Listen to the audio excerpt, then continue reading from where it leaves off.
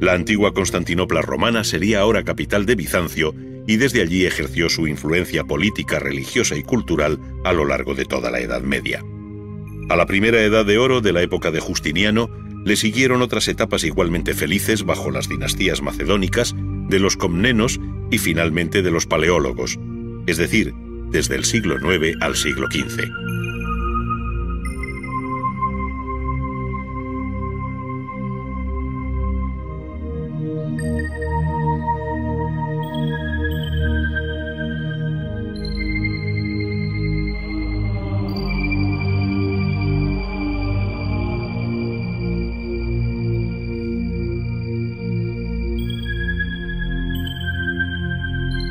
En el terreno artístico, el arte bizantino, partiendo de la experiencia romana y paleocristiana, alcanzó una imagen propia bajo Justiniano y después, en los siglos XI y XII, influyó de un modo decisivo en el románico europeo, que imitó en sus iglesias y pinturas la riqueza y belleza de los modelos bizantinos. Por otro lado, buena parte del arte ruso hasta el siglo XVI y el mundo de los iconos son igualmente deudores de la estética bizantina.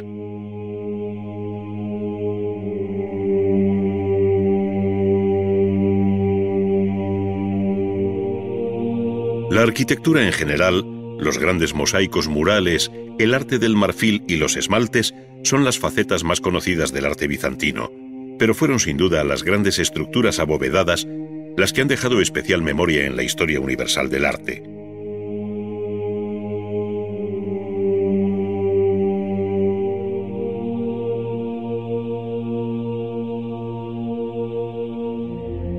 Y entre aquellas ninguna como la gran iglesia de Santa Sofía de Constantinopla, que resume el alcance del poder político y religioso de los años de Justiniano. Los conocimientos técnicos que hicieron posible semejante obra, debida a Antemio de Tralles e Isidoro de Mileto, ponen de relieve la supervivencia de los viejos focos de la cultura helenística, cuyos hombres, al servicio ahora del emperador de Bizancio, hicieron posible tal hazaña constructiva. Era el día 27 de diciembre del año 537 cuando se consagró el templo de Santa Sofía. Las obras habían durado tan solo cinco años y la tradición sostiene que al entrar Justiniano en el templo por la llamada puerta imperial, contemplando su imponente bóveda de algo más de 30 metros de diámetro, dijo en alta voz, Salomón, te he vencido. Es decir, se sintió en aquel momento émulo y rival del rey Salomón al que se debía el mítico y desaparecido templo de Jerusalén. Desde entonces, Santa Sofía no ha dejado de sorprender a cuantos la han visto, comenzando por el historiador Procopio, quien en los días mismos de Justiniano hizo la primera descripción de aquella maravilla. Según sus palabras, la cúpula no parecía estar construida de sólida mampostería, sino que daba la impresión de sostenerse desde el cielo por medio de una cadena dorada debido a que la estructura de la cúpula presenta aberturas a cortos intervalos para que así las que se corresponden con las divisiones de albañilería se transformaran en canales de iluminación constante. Paradójicamente aquella iglesia cristiana se convirtió en el modelo de las mezquitas cuando la antigua capital bizantina cayó en manos del Islam y se le dio el nuevo nombre de Estambul.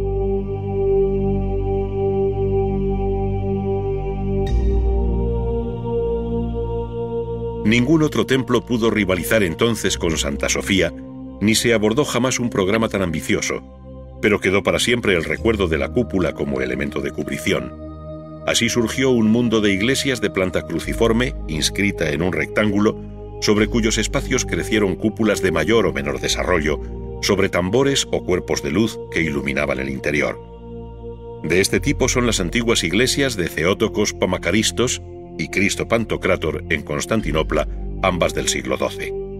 Los exteriores de este tipo de iglesias, con un inconfundible aparejo de piedra y ladrillo en cuyos muros se abren arcos de medio punto y en ocasiones peraltados, recuerdan el aspecto menos difundido de la arquitectura civil de la que el mejor ejemplo conservado es el Palacio de Tekfursarayi, o Palacio Imperial de Constantinopla, situado junto a la doble muralla de Teodosio.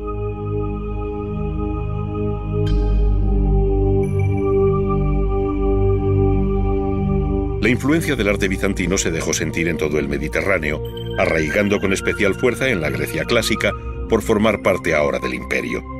Allí la vida monástica dejó un legado del mayor interés, tanto en lo referente a la arquitectura como en su decoración interior, pintada o en mosaico, conociendo un periodo especialmente brillante entre los siglos XI y XIII. Así lo confirman los frescos de la iglesia serbia de San Clemente, en Ocrida, firmados por Miguel Astrapas y Eutiquios en 1295.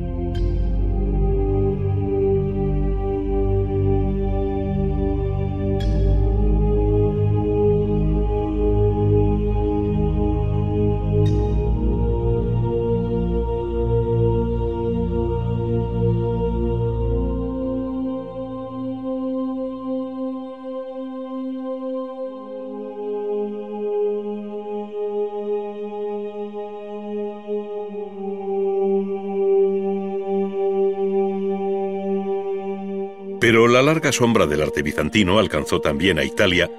donde primero Rávena, en el siglo VI, como capital del exarcado, y después Sicilia y Venecia, formaron parte de aquel imperio artístico. Iglesias como la de San Apolinar in Clase, de clara tradición basilical, o de planta centralizada como la de San Vital, ambas en Rávena, ponen de manifiesto aquella ligazón bizantina. Pero más allá de la propia arquitectura, la belleza de sus mosaicos, que cubren muros y bóvedas, delatan su ascendencia oriental tanto por el gusto por el color como por el modo de presentar su rica iconografía.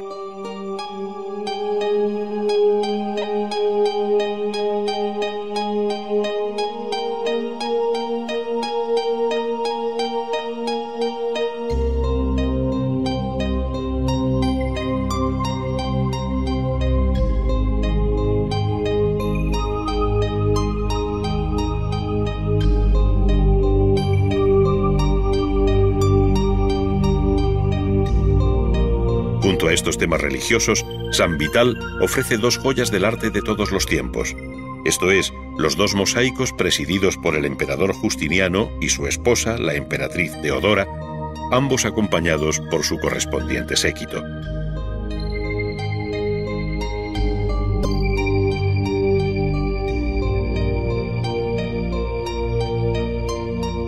Esta ofrece un rico vaso de oro con pedrería que pone de manifiesto el lujo del ajuar litúrgico, del que no desmerece el tocado y ropas de la emperatriz.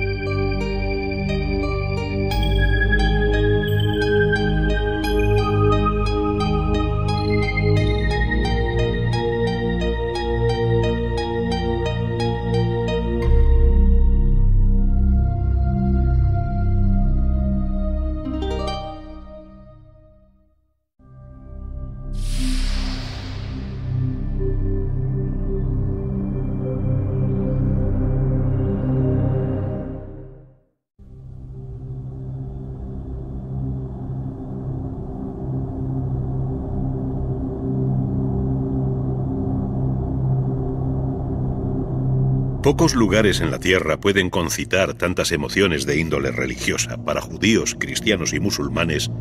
como la llamada explanada del templo en Jerusalén. En este paraje vinculado a Abraham, Cristo y Mahoma, donde estuvo el templo de Salomón, se levanta uno de los monumentos más significativos y antiguos del mundo musulmán, la Mezquita de la Roca. Su planta centralizada, de estirpe bizantina, rodea la cumbre del monte Moria, sobre cuya roca visible desde el interior de la mezquita sitúa la tradición el sacrificio de Isaac y el ascenso del profeta al cielo. Pero no solo es la planta, sino sus alzados, columnas, capiteles, decoración y cromatismo en general, los elementos que hablan de la progenie bizantina de esta mezquita, que aunque renovada en el siglo XVI por los otomanos, mantiene viva la imagen de la obra que levantó el califa Abd al-Malik en el año 690. Distinta resulta la disposición de la mezquita al-Hama o mezquita mayor de Damasco, en Siria, capital de los Omeyas. Hubo aquí un primer templo romano al que siguió un templo cristiano dedicado a San Juan Damasceno, hasta que en el año 709 el califa al-Walid I compró el lugar para levantar la actual mezquita. En el patio de abluciones, o San,